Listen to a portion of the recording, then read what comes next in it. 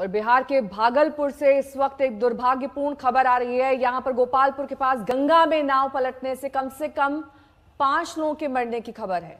लोगों के मुताबिक नाव पर सौ से ज़्यादा लोग सवार थे और इसी वजह से नाव डूब गई। बाकी लोगों की नदी में तलाश जारी है। एसडीआरएफ की टीम मौके पर पहुँच चुकी है और कई घायलों को अस्पताल भी भेजा गया है। पंद्रह लोगों की हालत गंभीर बनी हुई है, जबकि पाँच की मौत की खबर इस हादसे में आ रही है। भागलपुर की यह घटना नाव में ज़्यादा लोग सवार थे, सौ से ज़्यादा प्रत्यक्षदर्शी ये बता रहे हैं, जिस वजह से संतुलन बिगड़ा और नाव डूब गई हालाँकि अभी भी कई लोगों की तलाश जारी है